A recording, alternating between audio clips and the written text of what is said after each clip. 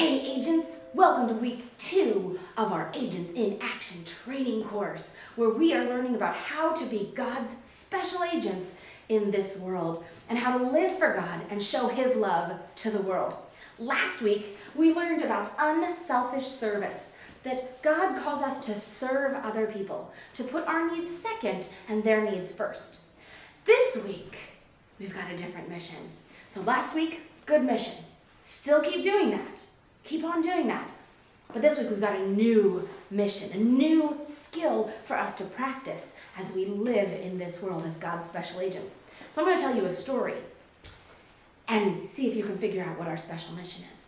So, years ago, we learned about, well, last week, we learned about Abraham.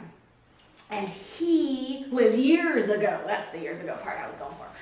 So Abraham lived 4,000 years ago. And we learned how he left his home and he traveled to Canaan. And it took him a long time. And he had lots of animals and sheep and people with him. And as he traveled, they would have to stop. And they would have to dig wells because it was kind of a deserty region. And the, one of the most important things that we need is water. We need oxygen, water, food. Can't live without those. Well, there's lots of oxygen. That wasn't a problem. But the water was a problem. Food was easy. They had animals with them. They could, you know, kill a goat, eat some goat, um, you know, milk a cow, have some milk, you know. So they were fine with that. But water was what they really needed. So when they would stop, they would dig a well. And that comes into our story today. So years pass, and Abraham has a son, and his name is Isaac.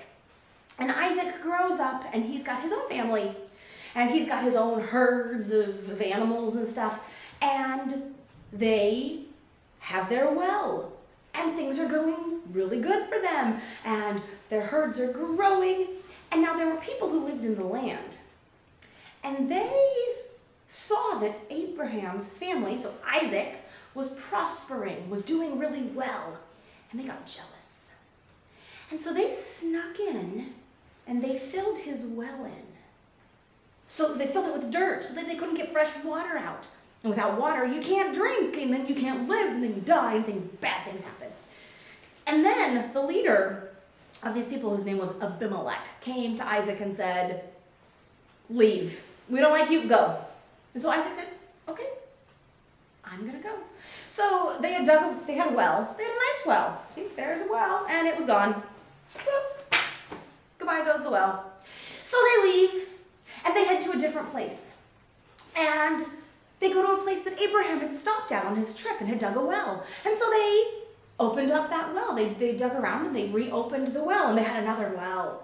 Great, they've got water. And then they dug a second well because water is so important. So they had two wells and things were going great. And then the people who lived in that region, they came to them and said, we, we don't like you. We don't, these are our wells. These are on our land. We don't like you. You have to leave. So what does Isaac do? He says, fine, I'll leave. Two more wells gone. Goodbye, wells. So they go to a new place and they settle down and they dig a new well. They've got another well. And these same people came to them and said, this is still our land. You didn't go far enough. This is our well now. It's our water. It's our land. Oh, so what does Isaac do? He leaves. He just he just leaves. Ooh. Hitting my special missions. So he leaves and he digs another well. And this time nobody comes. He had moved far enough away that nobody came and complained about his well. And then they stayed there for a while and they moved again to another place and built another well. So by this time they've dug a lot of wells. They're getting really good at digging wells.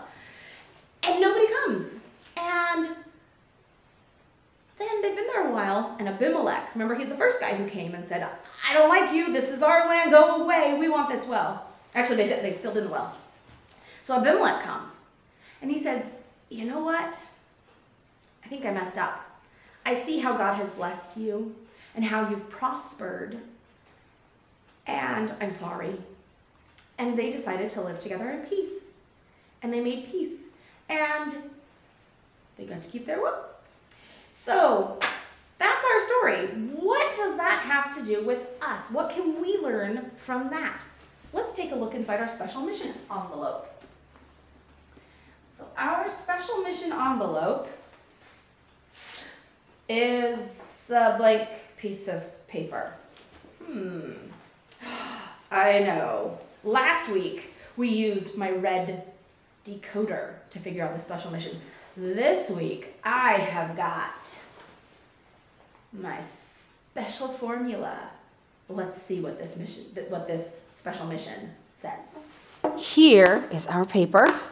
Here is my special formula. And we're going to see what this says. Are you ready? Let's see what happens. Hmm. What does it say?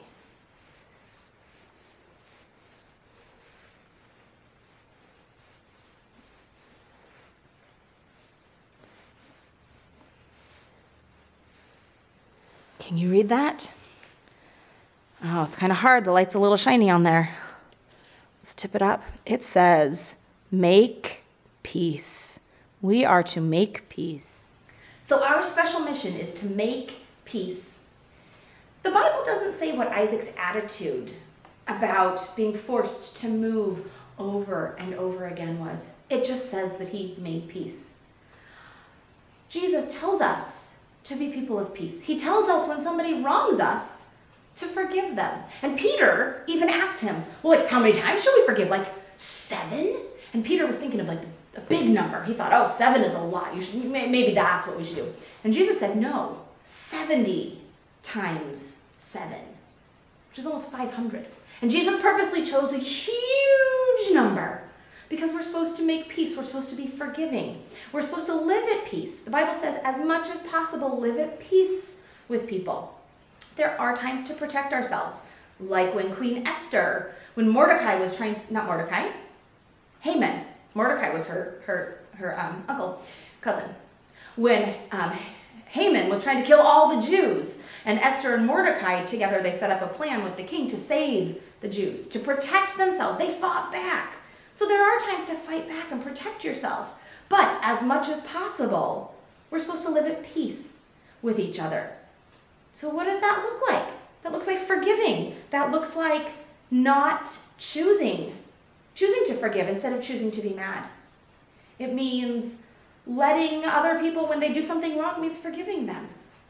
Okay? So think about what it looks like for you in your life this week. And as you're living your life, think, how can I make peace with those around me?